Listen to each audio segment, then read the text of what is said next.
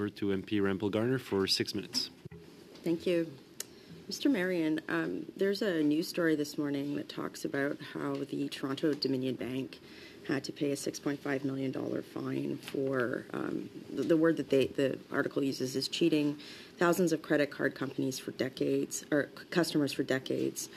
Um, and it, it, the article talks about um, the Financial Consumer Agency of Canada and sort of that it might be a little bit weak.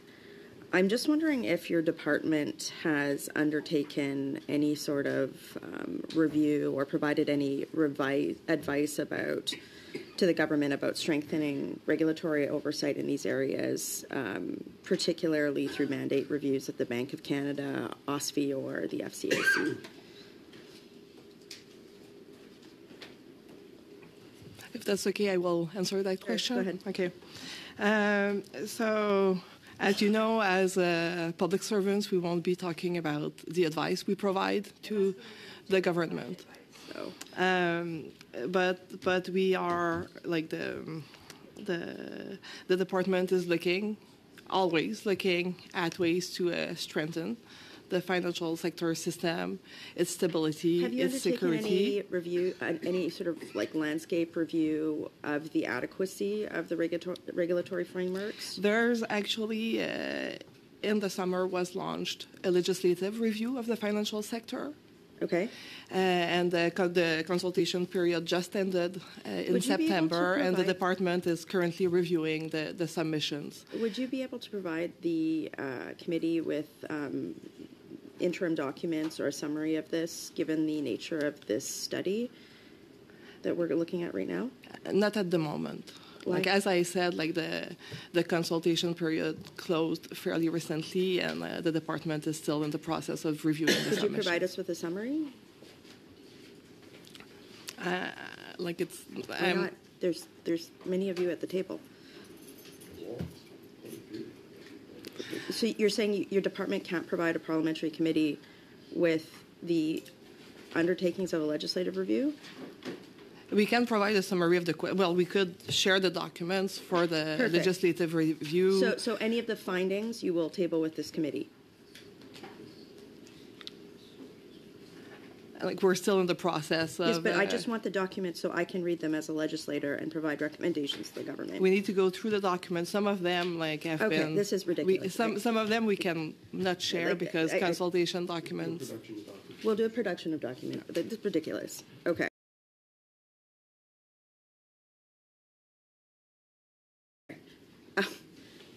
Um, Mr. Marion, um, the European Union has regulation that limits interchange fees 0.3% for consumer credit cards and uh, 0.2% for consumer debit cards.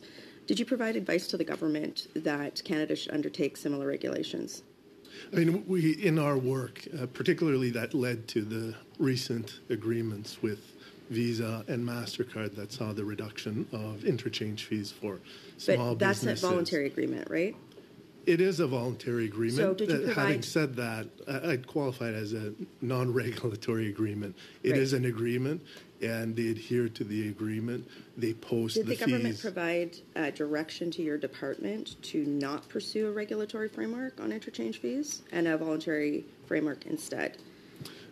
So we've uh, had uh, a number of these agreements, three sets of these agreements uh, over the years. The first set was negotiated in uh, 2014 and brought into force uh, But, in but there's no formal regulatory framework, correct?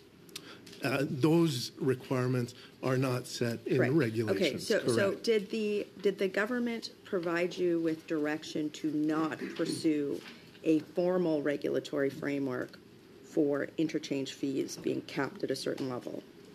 We didn't receive any uh, direction saying that it shouldn't be done regulatorily. Um, did the government provide you any direction on ensuring or regulating or working something into the uh, voluntary framework that you talked about, the voluntary agreement with Visa and MasterCard to ensure that the savings from interchange fees would be passed on to small businesses when a payment processor is involved?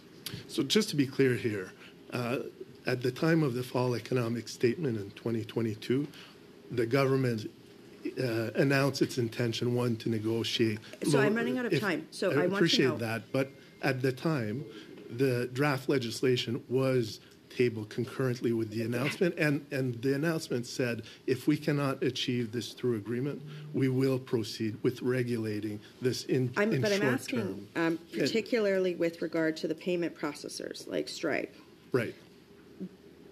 has the government provided you with direction to ensure that the savings on interchange fees from the deal with Visa and MasterCard are actually passed down to consumers and not hoarded by payment processors? Right. So most uh, merchants that are on interchange plus plans are de facto receiving. But we don't know how many. Uh, we don't know how many of those. Like you, you get that talking point, but we don't actually know how many of those clients are on interchange plus or not.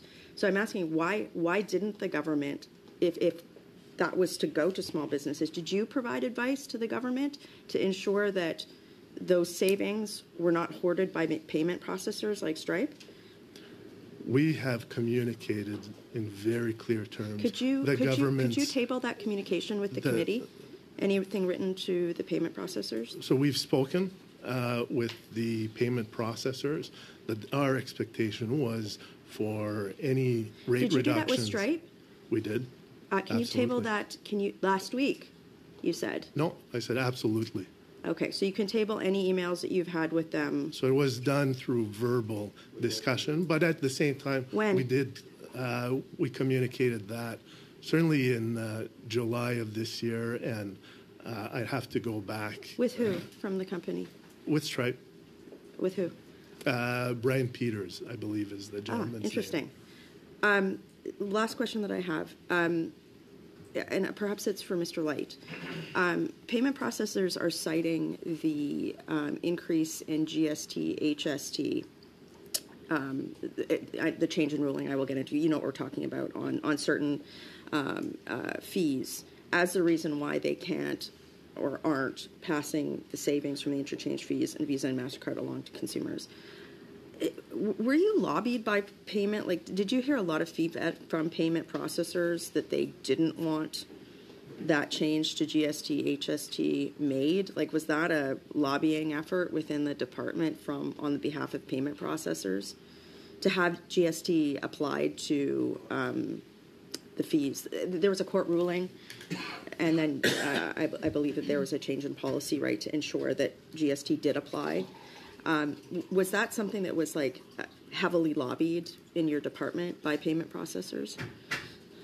Um, no, we did not receive heavy lobbying. I point out that the tax also applied up until a 2020 court ruling. Um, in 2023, we made an amendment to um, to ensure that the tax reapplied. Right. So, but no, we did not see. Um, we did receive some communication from acquirers asking for information, but we did not receive heavy lobbying. Thank, Okay, thank you. Thank you, Ms. Rempel Garner.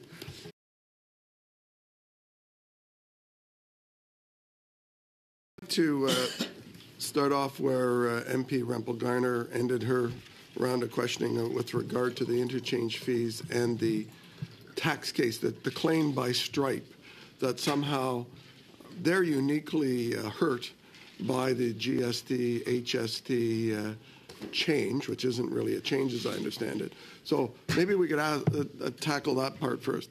The GST being applied uh, this year isn't new, is it? It was just they got a 12 month reprieve essentially, but they're paying what they were paying before. Yeah, there's been no change. This is a, a longstanding policy that's been in place since the GST was introduced in 1991. It was well understood. Um, banks uh, are often uh, ambitious when it comes to challenging laws, and they took a swing at it. They lost at the tax court. They won at the federal court of Canada or the federal court of appeal. Uh, we introduced legislation to unwind that uh, decision, which was contrary to longstanding policy, and the tax was uh, reintroduced. So it's not a new tax. It's so not it's, a new. it's cost. not a new tax. No. And it's not a tax that applies strictly to Stripe, is it? No, it applies to all acquirers. It applies to all of them. So, so far, they're the only company that I'm aware of that has come out and said that they're not going to uh, apply the reduction, although a number of other providers have been silent. Uh, are you aware, is there any other company that is providing uh, these interchange services, these processing services, that is saying they will not pass it on? I'm not aware of any others. And what has the department done to reverse their perspective on it?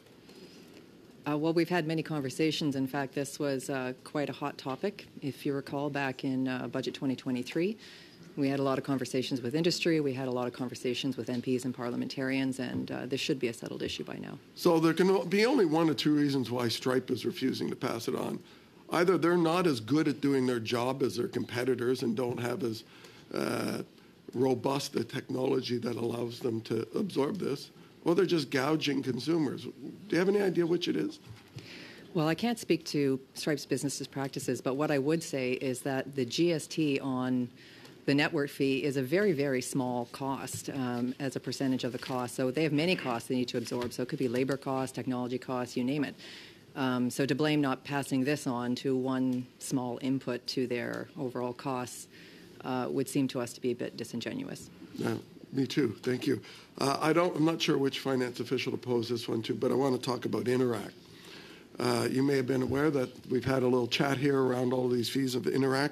We had a board member here in committee who didn't seem to know what the pricing was of the company that he is a board member of, which shocks me because every company I've been a board member of, I know what our pricing structure is. So I'm not sure how truthful he was, but but in the end of the day, the the the e-transfer uh, fees range from uh, six cents to forty-three cents apparently, and apparently if you are uh, on the board of Interac, and in particular if you're a co-chair of Interac, you're one of the two companies coincidentally that gets the six cents, and if you're not there, you have to pay the forty-three cents as uh, provider. So. Uh, has the department at all looked into the anti-competitive behavior of Interac and the way it treats other financial institutions in the pricing? Thank you for the question. We do work with Interac. Uh, matters related to competition is one that we defer to the Competition Bureau. and so, to the specifics of your question, I think those would be better posed to them. But when you're forming public policy, and I served eight years in a minister's office back in a long time ago, but but uh, uh, and the department's always working with the minister to look at issues, uh, public policy issues, and certainly the Department of Finance and Minister of Finance should be concerned with competition in financial services, and particularly in fees, fees that are gouging consumers. So, are you telling me that the minister and the department have never looked into this anti-competitive behavior by Interac that gives preferential treatment to the co-chairs of the board and treats everybody else differently and gouges them at a 98% margin difference?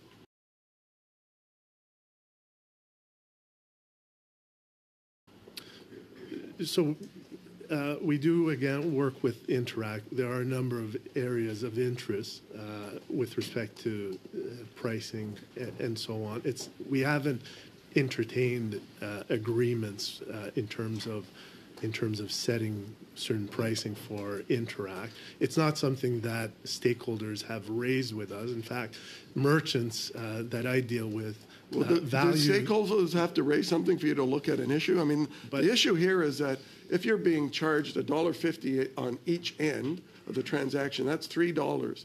And Royal Bank and TD are paying 6 cents. That's a monstrous amount of profit. And the department hasn't looked into that. Uh, and the department, the department hasn't looked into, I also take it, the re- return on equity percentages on credit card business. I worked at a bank. I know that the bank I worked at, the return on equity was 52% on the credit card business. So their their defense of this industry is BS in terms of the fact that generally the return for the entire bank is 10 to 12, 13% is their target. The department doesn't look into any of these issues, doesn't put forward policy uh, policy to try and correct when you have usury uh, uh returns on credit cards, or you have usury returns by two, if not the four key banks on charging on Interac? You don't look at those issues at all? We look at a number of issues, uh, and uh, and thank you for the question.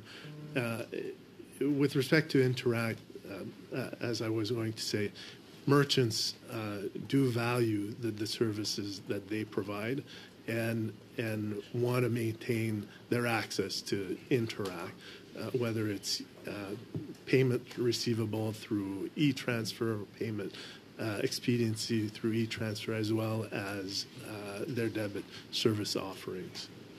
Thank you. Merci beaucoup. Monsieur Van Bynen, la parole est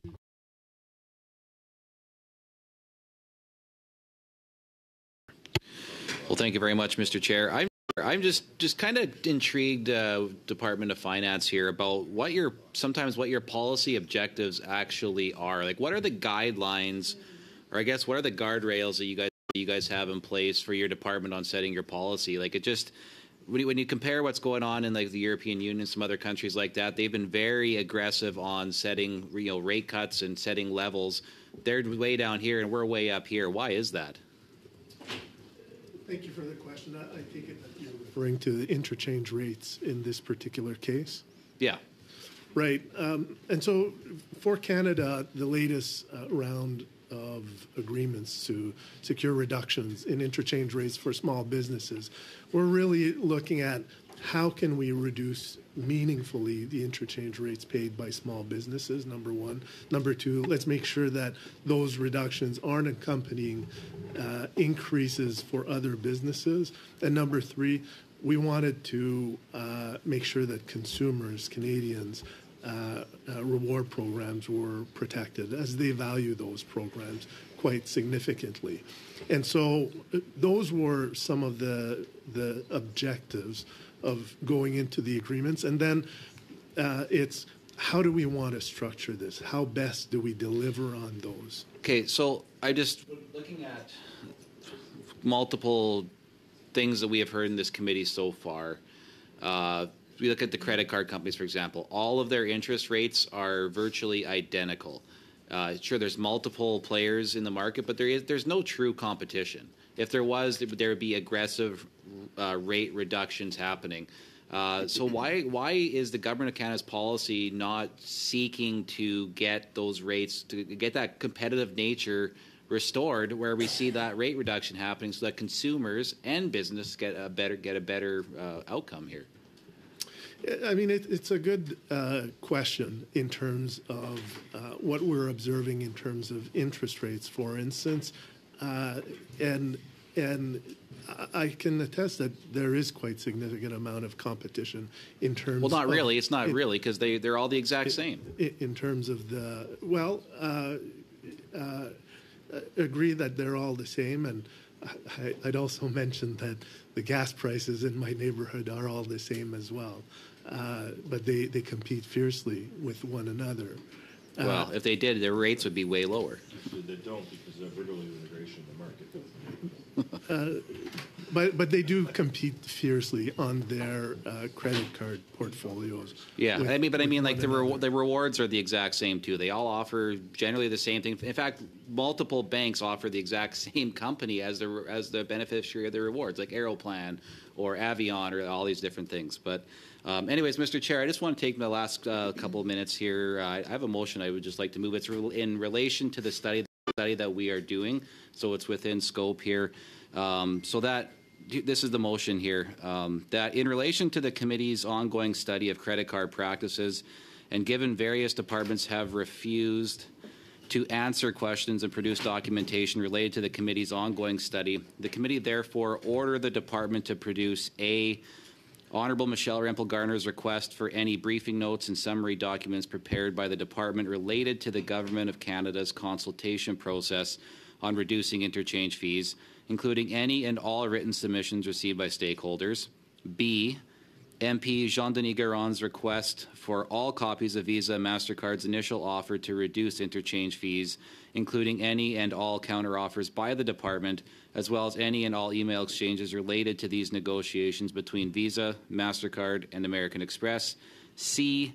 MP Brian Masse's request for any advice letters or memorandums provided to the minister on the matter of reducing interchange fees or credit card reductions more broadly and that these documents be produced to the committee within 14 days following the adoption of this motion, unredacted and in both official languages.